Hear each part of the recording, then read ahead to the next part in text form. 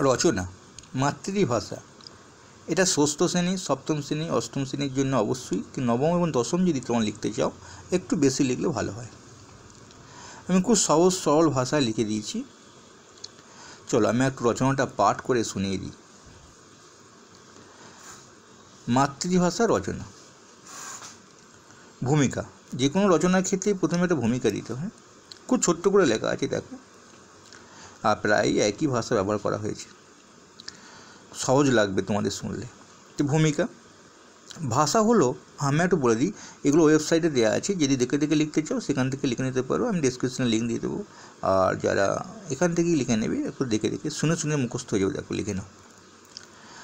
ভাষা হলো, মনের ভাব প্রকাশ করা। আর মাতৃভাষা হলো, মায়ের মুখর নিশ্চিত ভাষা। কি মাতৃভাষা বলে?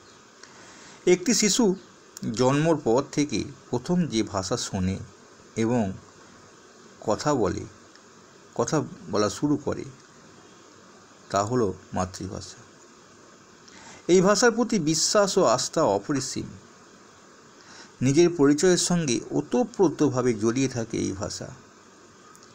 এগুলি একটা নির্দিষ্ট অঞ্চলের ভাষা হয়ে গড়ে ওঠে। এই ভাষার সংখ্যা পৃথিবীতে অনেক।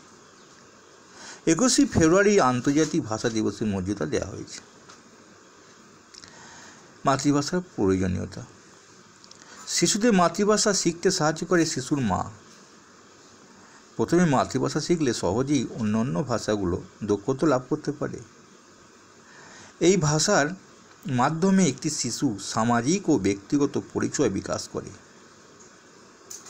মাতৃভাষা শিশুদের দক্ষতা বিকাশ করে। শিশুরা সমালোচকমূলক আলোচনায় অংশ নিতে পারে এই মাতৃভাষার মাধ্যমে। মাতৃভাষার গুরুত্ব। মাতৃভাষা শিশুদের জন্য অন্যান্য ভাষা বাছাই এবং শিখতে সাহায্য করে। অন্যান্য ভাষাকে। এটা একটা কে হবে হ্যাঁ? এটা কে?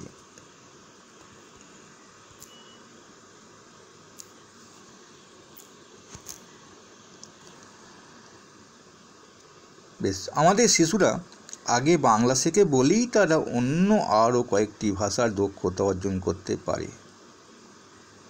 মাতৃভাষা একটি শিশুর ব্যক্তিগত, সামাজিক ও সাংস্কৃতিক পরিচয় বিকাশ করে। মাতৃভাষা ব্যবহার শিশুকে তাদের সমালোচনামূলক চিন্তাভাবনা ও শিক্ষার দক্ষতা বিকাশে সহায়তা করে। প্রত্যেকে যেমন একটা উপকারিতা আছে, তেমন অপকারিতাও আছে। চলো উপকারিতাটা করে নিই। মাতৃভাষার মাধ্যমে সহজেই মানুষ প্রকৃতিকে চিনতে পারে এবং জানতে পারে, খুব সহজে এই ভাষা খুব দ্রুত উপলব্ধি করার সঙ্গে সঙ্গে মস্তিষ্কের স্মৃতিশক্তি বৃদ্ধি করা যায়, এটা বৈজ্ঞানিকভাবে প্রমাণিত আছে।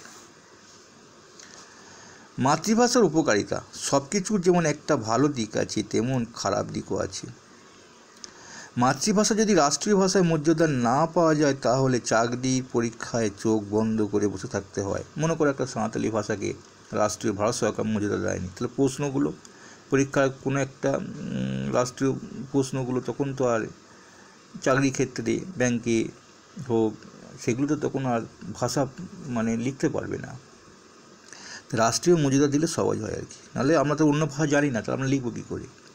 সেই জন্য বলতে আর কি, তেমন কাজ মাতৃভাষা যদি রাষ্ট্রীয় ভাষার মর্যাদা না পাওয়া যায়, তাহলে কিন্তু চাকরি পরীক্ষায় চোখ বন্ধ করে বসে থাকতে হয়। মাতৃভাষা জ্ঞানের পরিধিকে সীমিত করে রাখে কোনো মানে সত্যি তো ছোট্ট একটা অঞ্চলের ভাষা। আমরা সে তো বিদেশি বইগুলো যদি না পড়ি, ভালো ভালো গোয়েন্দা কাহিনি, ভালো ভালো মানে মানে কোন দ্বীপের বেড়াতে যাওয়া কাহিনি, তাহলে আমরা তো জানতেই ওষুধের ব্যাপারে। তাহলে বোঝা যাচ্ছে যে সীমিত করে রাখি, যদি অন্য শিক্ষা না পাওয়া যায়। কোনো মূল্যবান শিক্ষা গ্রন্থ, মনে করো কোনো ধর্মের বই, মনে করো কোনো খুব দামি একটা শেখাচ্ছে কিছু কোনো বৈজ্ঞানিক সম্মত। সেটা তো ইংরেজি লেখা থাকে, তাই বলছি যে মূল্যবান শিক্ষা গ্রন্থ মাতৃভাষায় প্রকাশিত না হয়, তাহলে সেই মূল্যবান শিক্ষা থেকে নিজেকে বঞ্চিত করে রাখতে হয়। মাতৃভাষার মাধ্যমে বিশ্বকে চেনা যায় না। শুধু মাতৃভাষার উপর শিক্ষিত হলে বা জ্ঞান লাভ করলে অন্য ভাষাভাষী মানুষদের সঙ্গে কথা বলতে অসুবিধা হয়। সামান্য উড়িষ্যা যদি যাই, উড়িষ্যায় যদি আমরা কথা বলতে পারব পারব না। উড়িয়া ভাষা আছে। সেই জন্য বল, শিক্ষিত হলে বা জ্ঞান লাভ করলে অন্য ভাষাভাষী মানুষের সঙ্গে কথা বলতে অসুবিধা হয়। চিনতে জানতেও অসুবিধা হবে। ফলে অন্য এক, কোনো এক স্থানে সমস্যার সৃষ্টি হয়। কিছু খাবার চাইলে আমি তো বাংলা জানি, জল চাইলাম বা আমি চাইলাম মিষ্টি দাও তো মিষ্টিটা চেনে না। তা কী দেবে? অনেক সময় তো অনেক জায়গায় নাম আছে। শুধু মাতৃভাষার ওপর সেগুলো চিনতে জানতেও অসুবিধা হয়। ফলে অনেক স্থানে সমস্যার সৃষ্টি হয়। মাতৃভাষার সঙ্গে সঙ্গে রাষ্ট্রীয় ভাষার জ্ঞান উপলব্ধি করলে অন্য কোনো স্থানে সমস্যা পড়তে হয় না। উপসংহার শেষ এটা। মাতৃভাষা শিশুসহ যে কোনো মানুষের কাছে অসীম গুরুত্ব, এটা বেঁচে থাকার একটা ভাষা। মাতৃভাষা শিক্ষার পাশাপাশি যদি রাষ্ট্রীয় ভাষা আন্তর্জাতিক ভাষা শিখতে না পারা যায়, তাহলে জীবনে পড়ে দিয়ে অনেকটা ছোট হয়ে যায়। তাই মাতৃভাষার সঙ্গে সঙ্গে রাষ্ট্রীয় আন্তর্জাতিক ভাষাগুলিকে চর্চা করতে পারলে জীবন এক সুন্দর গড়ে ওঠে। আর সেই সঙ্গে সমাজকে একটা সুন্দর সেই সময় একটা সুন্দর সমাজ উপহার দেওয়া যায়। সেই সাথে একটা এই সময়টাকে প্রথমটা কেটে দিতে হবে। উপহার দেওয়া যায় এগুলো আমার ওয়েবসাইটে দেওয়া আছে, আরও রচনা দেওয়া আছে, তোমরা সেখানে পেয়ে যাবে। আমি এখানে লিঙ্ক দিয়ে দেবো, নিচেতে হাইপার লিঙ্কগুলো ভালো অবশ্যই লাইক করবে।